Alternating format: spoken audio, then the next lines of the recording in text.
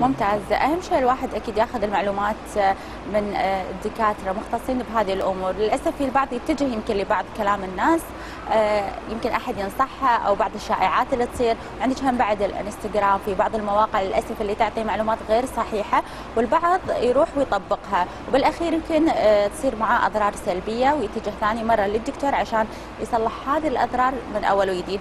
فأنت شنو حابة توص يعني توصيل رسالة دائما للناس اللي يعني تلجأ حق أقاويل مواقع التواصل الاجتماعي أو أقاويل بعض الناس اللي ما يدرون عن يمكن استخدام الأدوية بطريقة صحيحة؟ أه والله أنا دائما أنصح ودائما كل مقابلاتي ارد واعيد أقول لا تأخذون شيء من ال social media ولا من التاجرات ولا من الفاشينيستات ولا من ال blogger ولا من أي تخصص غير من ذوي الاختصاص واخذوه من الصيدلي أو الدكتور. بس عشان لا تطيحون بمشاكل أنتم بقنا عنها. يعني إحنا وايد نشوف أشياء تنباع بالإنستغرام. عدل. مو معروف مصادر دخولها للبلد مو معروف شلون طريقة تخزينها مو معروف شلون وصلت لنا هل هي مهربة هل في لها تاجر.